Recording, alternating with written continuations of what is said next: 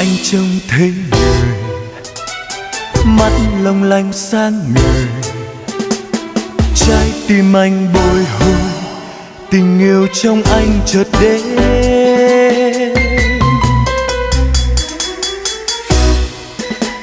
Phút giây anh ngỡ ngàng, bước chân em nhẹ nhàng. Đến bên anh nói cười, nét môi nồng nàn xinh tươi